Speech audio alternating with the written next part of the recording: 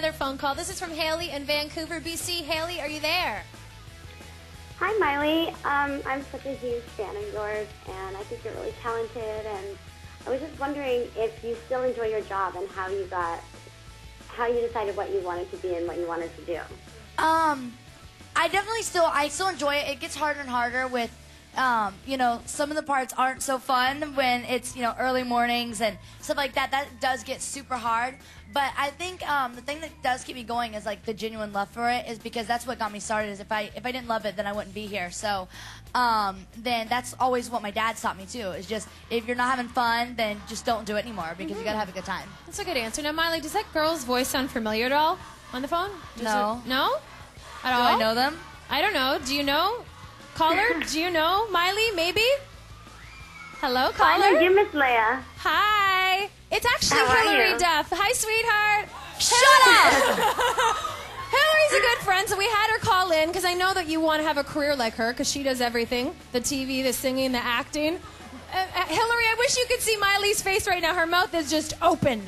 Oh, well, we met not too long ago, and um, I had such a good time, and you're so talented and so sweet, and I wanted to call in and say hi. Hilary, she's kicking her feet. Holy you moly. need to see this. okay, so I thought we'd get her on the phone. Do you have any? Do you want advice from Hilary? Is there anything you want to ask her right now while she's on the phone, career-wise? anything. You are amazing, and getting to meet you was seriously. It was like I never like be quiet, and I was for once Aw. speechless. I was so happy. So thank you so much just for everything, and also I never got a chance to say this, but thank you for making it cool to be a good girl and to want to be a good role model. Thank you for making that cool because that's something that really I look up to you a lot for that.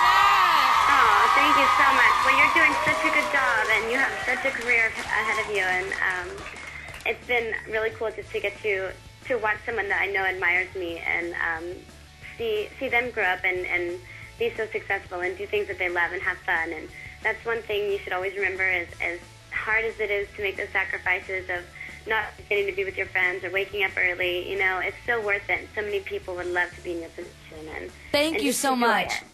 Thank you, thank you. go. You're I wish I could be amazing. there. Leia I know, I miss you. Hilary's in Vancouver right now shooting a movie. Hilary, I love you. Thank you so much for calling in. You're a good You're friend. Have a good rest Thank of I you. the love you. Have a good day, hon.